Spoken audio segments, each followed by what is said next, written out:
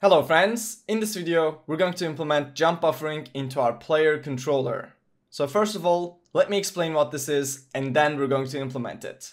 Okay, let's say that the character right here is falling to the ground and the player wants to jump. So they press the spacebar right before the character right here touches the floor. Let's say right here. Currently this jump is not going to get registered because the player isn't touching the floor. And that's the check we make before we jump. So if we take a look at the player script, when the player touches the jump key or presses the jump key, we check if we are on the floor. And if we're not, then we're not going to jump. So in this scenario, the player or the character is simply going to land on the floor and not jump. And from the player's perspective, that's going to feel bad. And that's because the time frame that they miss the jump is so small that they're not really going to be able to see it. They're going to think that they pressed the spacebar, but the you know the game didn't work, the player didn't jump. It's overall not going to feel good and it's going to frustrate the player. So in order to fix this, we need to make the game a little bit more forgiving in this regard. So that's where jump buffering comes in. So when the player, you know, tries to jump while in air, we're going to save that jump. And once they you know, once the character touches the floor, we're going to jump. So that's what jump buffering is basically. Now let's go ahead and start implementing this. We're going to go into the player scene here and create a timer.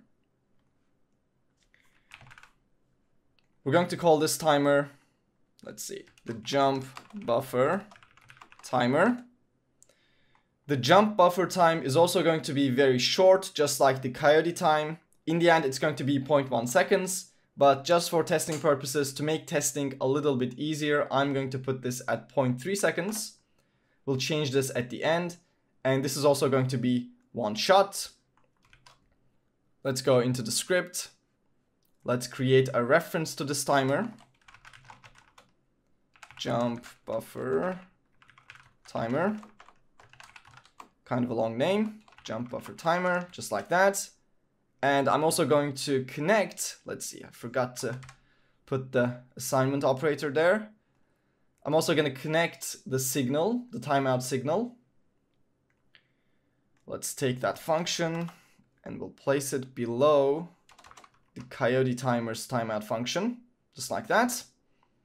And the first thing we want to do here is we want to save that buffer jump when the player tries to jump while in air. Okay, so in order to save that, we're going to create a boolean variable. I'm going to call this jump buffered. It will be false at the start. And we're going to set this to true if the player tries to jump, but the jump doesn't work. So right here, we're making the player jump. But let's create an if else statement here so in the case that the jump didn't work, and that's going to be because the player is not on the floor, in that case we're going to say jump buffered equals true if it is false. So we're going to say if not jump buffered, so if it is false, let's say jump buffered equals true. We can also print something and say jump buffered true. Oops, and of course, we're going to start the jump buffer timer as well. And then once the timer times out, we're going to set jump buffered back to false. Right here. And in here, we can also print jump buffered false. Okay, so let's test this. Now we should be able to try to jump while we're in the air. That's going to trigger the jump buffer timer. And then once the timer times out, we're going to set the, let's see, let's say false. We're going to set jump buffer back to false. Okay. So I'm gonna try to jump while I'm in the air. And as you can see, that triggers the jump buffer timer and it doesn't work if I just do a normal jump after landing, as you can see. Okay, great. So Now that we're saving, you know, the fact that we have a buffered jump, we need to actually, you know, make the player jump once they land on the ground. So we need to be able to detect the, the frame, the moment in the game that the player touches the ground. So before we call move and slide, the player should be here. And after we call move and slide, the player should be touching the, the, the floor or the box or whatever. So that's the moment in the game that we're trying to detect. And we can easily do that after we call move and slide using the was on floor variable here. So let's think about this. If we weren't on the floor before moving and after moving we are on the floor, that is the exact you know moment in the game we're looking for. So we can simply say if we weren't on the floor, so if not was on floor and if is on floor, so if is on floor returns true after moving, that means we just touched the ground. So we can test this by printing touched ground.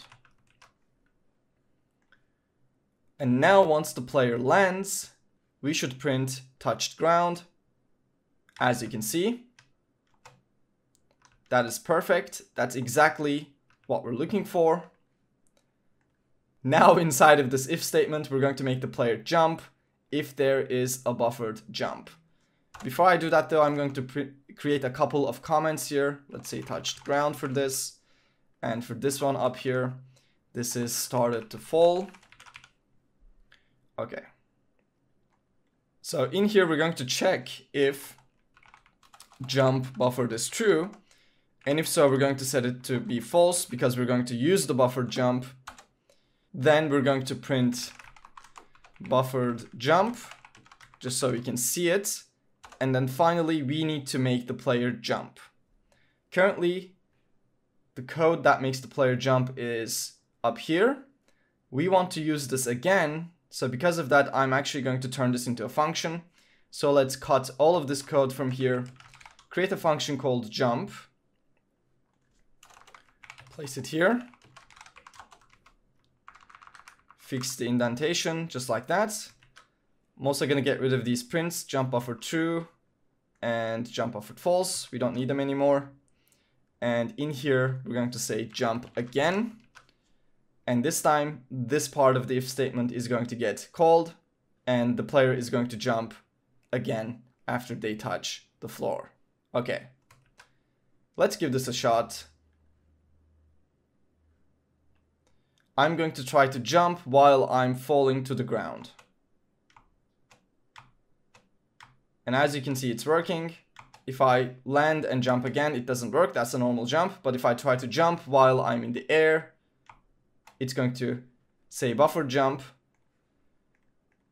which is exactly what we're looking for. But of course, there's a time frame for this. For example, if I press the spacebar early before the 0.3 seconds that we have currently, it's not going to work as you can see. I press jump while I'm here, and when I fall, it doesn't work because the timer has timed out.